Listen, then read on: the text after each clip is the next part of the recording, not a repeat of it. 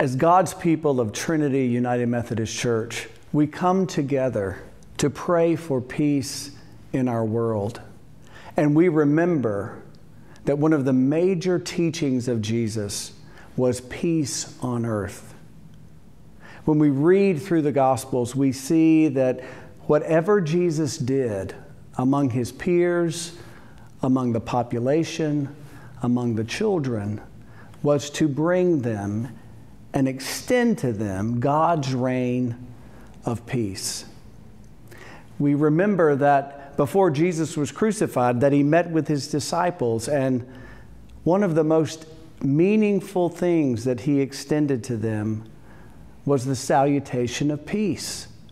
When their world was filled with fear and terror and trauma, and before he was to be crucified.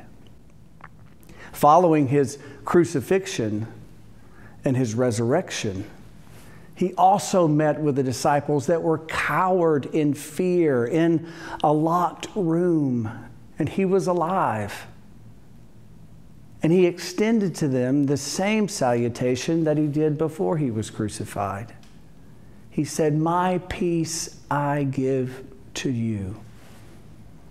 And even as Thomas, who was doubtful and skeptical, as Thomas came around, Jesus appeared yet again in the same place and extended yet again peace. My peace I give to you, my peace I extend to you in a tangible way. Thomas still doubted and said, Unless I see the nail marks in your hand and touch your side, I will not believe. And perhaps he was saying, I will not believe that peace is possible. And yet Thomas touched Jesus, saw he was alive, and knew that peace was possible. Thomas, who doubted, became Thomas who believed. He is believing Thomas. He is that disciple that we can so relate to. And in our world today, it seems that there is no peace. Each day, sometimes each hour, we experience some sort of new uprising of chaos and of trauma. Most recently, we have experienced this in Israel and in Palestine. As militants have opened fire and taken hostages and killed innocent people. And as Israel has retaliated. This is the land where Jesus walked and extended peace.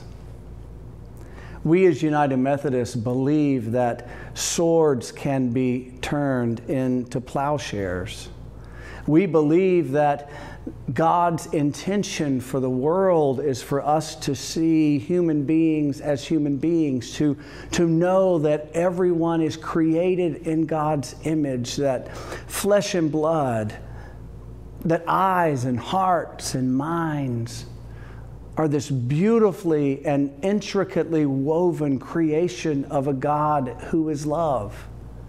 And so we long for peace. We long to believe that peace is possible and that the wolf shall lie down with the lamb and that all people may live together in harmony and through that we may see God's kingdom come.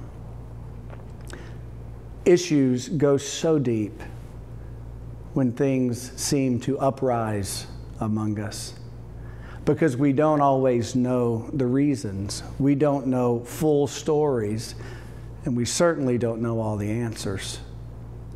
But we do know that Thomas came to believe that peace is possible. In Caravaggio's painting, The Incredulity of Thomas, he's depicted as uh, reaching his hand down into the hands of Jesus. And massaging Jesus' side. And we expect the face of Jesus to look upon him with an I told you so demeanor. But rather, Jesus looks upon him with compassion and with love and with understanding because Thomas finally understood that peace is possible and that Jesus is alive. As Christians, we profess, even in difficult times, that Jesus is alive and that Jesus is the way of peace. Jesus is the way of justice. Jesus is God's love incarnate. And what we hope that you will do in these moments and as a part of this beautiful music is to find a place in your heart that is open to pray for peace, to pray for peace in our community where gun violence still rages on, where families still lack affordable housing, where division seems to take us on each and every day through many aspects.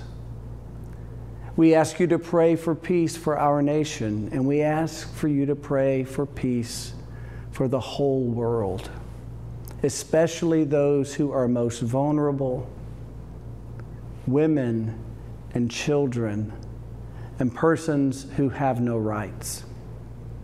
May God's peace overwhelm us and pave a way for a more just world where God's love is paramount. Amen.